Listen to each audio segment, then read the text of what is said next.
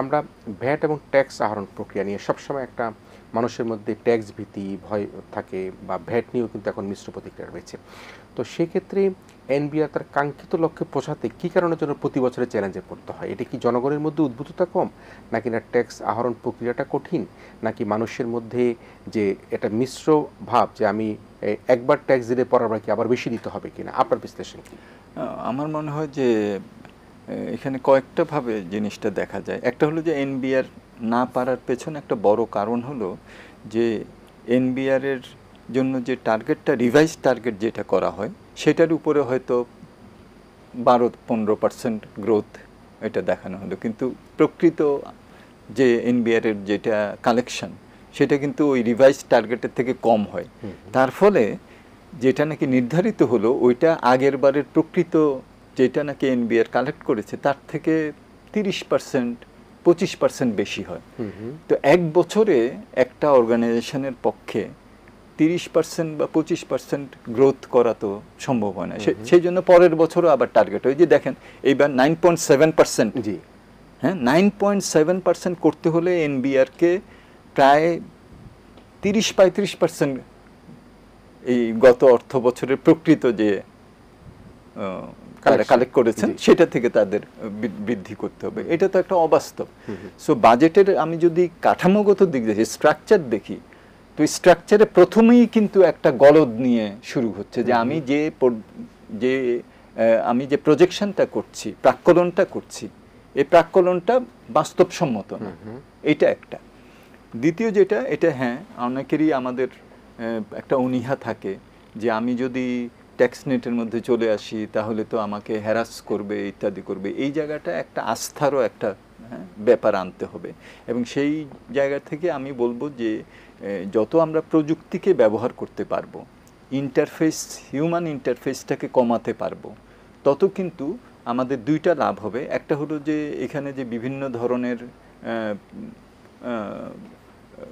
ব্যত্যয় বিচ্যুতি থাকে হ্যাঁ, এখানে অনেক সময় টাকা লেনদেন করতে হয় ট্যাক্স দেওয়ার জন্য। এগুলো কমবে। আর দ্বিতীয়ত যেটা সেটা হলো যে এটার ফলে এই বিভিন্ন যে লিকেজগুলো এই লিকেজগুলো আমরা কমাতে পারি। ডিজিটালাইজেশন করে যদি আমি যদি ব্যাংকের সাথে ইনকাম ট্যাক্সের সাথে কাস্টমসের সাথে ভ্যাটের সাথে বাংলাদেশ ব্যাংকের সাথে আমি যদি একটা ইন্টার অপারেবল একটা সিস্টেম করতে পারি মানে প্রত্যেকে যাতে হ্যাঁ। সেই বিষয়টাকে দেখতে পারে সে দেখতে পারবে এনবিআর এর অফিস অফিসার যিনি উনি কিন্তু দেখতে পারবেন যে উনি আহ, ব্যবসা ভ্যাট দিয়েছেন হ্যাঁ, এত বা উনি আমদানি করেছেন এত হ্যাঁ।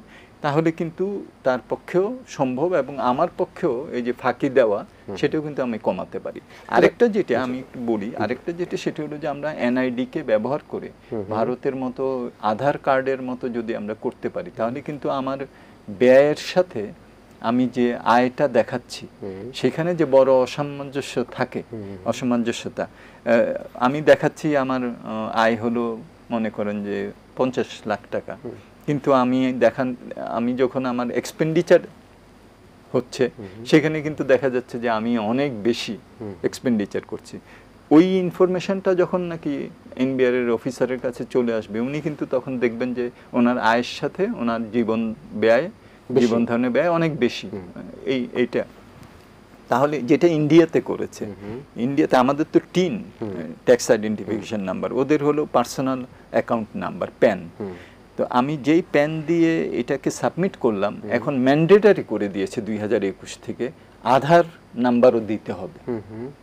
তো আধার নাম্বারটা কিন্তু হলো ওই যে এক্সপেন্ডিচারের মানে রেকর্ড হয়ে যাচ্ছে। হ্যাঁ রেকর্ড হয়ে যাচ্ছে। আমি যদি একটা গাড়ি কিনতে যাই আমাকে কিন্তু ওই গাড়ি যিনি বিক্রি করবেন উনি কিন্তু বলবেন আপনার আধার নাম্বারটা দেন।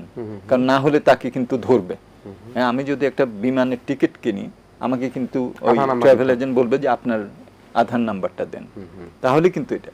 সো আমাদের কিন্তু এগুলোর মধ্যে যেতে হবে। তাহলে এনবিআর এর পক্ষে প্রযুক্তি ব্যবহার করে তারা কিন্তু অনেক কিছু করতে পারবেন না। সেক্ষেত্রে যেমন আমরা ভ্যাটের কথাটাই আসি যেমন একটা দোকানে দেখা যাচ্ছে সুপার শপে যে সাবানের উপর তার ভ্যাট দিচ্ছে। তো পাশের দোকান যেটা সে কিন্তু ভ্যাট বা কোনো প্রক্রিয়ার মধ্যে নাই।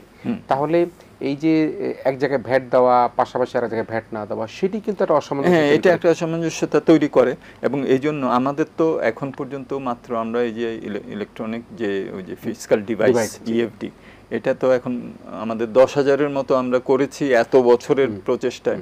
এখন একটা টার্গেট নেওয়া হয়েছে যে এই বছর ষাট হাজার আহ, আমরা আগামী পাঁচ বছরে আমরা ষাট- হাজার আহ, করে আমরা এখন বসাবো প্রতি বছর।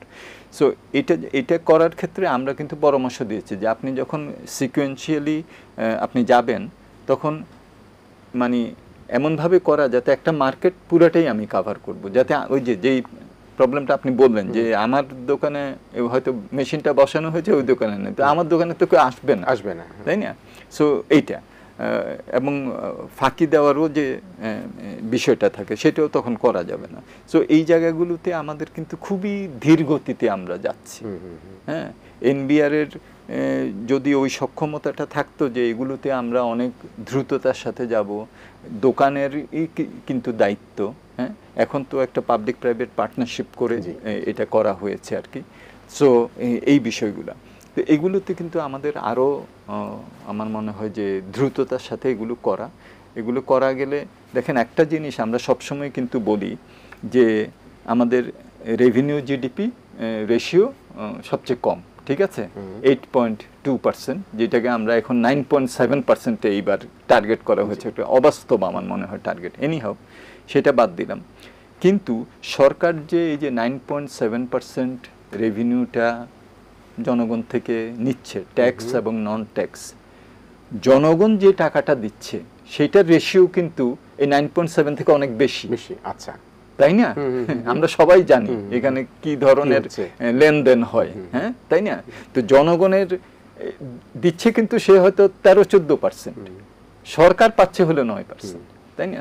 সো এই জায়গাগুলোতে তো আমাদের অ্যাড্রেস করতে হবে। মানুষের উপরে আমরা ট্যাক্স জিডিপি রেশিও অনেকেই বলেন যে tax GDP ratio revenue GDP ratio বাড়াতে গেলে মানুষের উপরে চাপ পড়বে। না মানুষের উপরে চাপ না দিয়েও আপনি এটা বাড়াতে পারবেন। যদি যে টাকাটা মানুষ দিচ্ছেন এই টাকাটা সরকারের মানে ঘরে সরকারের ঘরে হ্যাঁ। যায় এবং কি ধরনের এটা হয় সর্বসম্প্রতি তো দুই একটা দেখা গেল এক্সাম্পলে তো আমরা এটা আর আমার বড় করে বলার দরকার নাই। মানে এমন সময় হয়েছে যে এই বক্তব্যটার মানে যৌক্তিকতা মানে আরও কত আর মানে কি? যে জনগণ কতটুকু দেয় আর সরকার কতটুকু পায়। মানে কোনটা মিন করছিলেন এটা? এই যে কিছুদিনের মধ্যেই তো সর্বসম্প্রতিকালে আমরা এনবিআর এর বিভিন্ন অফিসিয়ালের সম্বন্ধে আমরা জানতে পেরেছি তাই না? তো এগুলো তো আসছে হলো কীভাবে? মানুষ দিয়েছে। সরকারের খাতায় যায় নাই। তো আমি তো হিসাব করছি সরকার কতটুকু পেল? Eight point two percent of GDP বা যদি এইবারেরটা হয়ও পুরোটা nine point seven percent of the GDP সরকারের খাতায় গেল। কিন্তু মানুষ যেটা দিল সেটা কোথায় সেটা সেটা তো একটা বড় অংশ যেটাই নাকি এই এই সব ঘটনার মধ্য দিয়ে বেরিয়ে আসছে। এগুলো বেরিয়ে আসছে।